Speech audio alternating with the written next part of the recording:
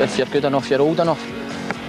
In, in the past, we've been blasé and we haven't worked maybe as hard or as diligently at youth level as what we should have. I believe in bringing our own kids through and hopefully getting them through onto the big stage.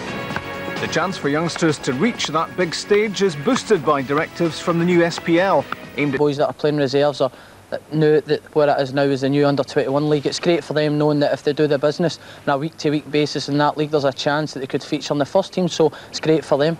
They'll get a game, and it's been proven in the past with Jim Lauchlan's, Mark Roberts, David Bagans, Burkeys, and all these guys, Colin Meldrum, they've all made their debuts before they've been 21 and stayed in the team.